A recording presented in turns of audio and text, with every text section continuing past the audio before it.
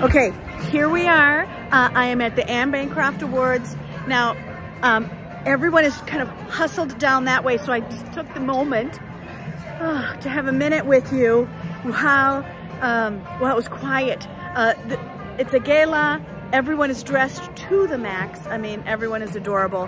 And there are so many prizes, so many things. Uh, one of the things that I love about what they've done is they've made these uh, billboards. They've done everything so that it is, just use your phone. Um, it is a silent auction gone crazy good. So um, here's the, here's the fun of the awards. Now we're gonna go back in and I'll do a second video for you so you can see what's up inside. It's a full house here tonight and uh, I'm glad you're here.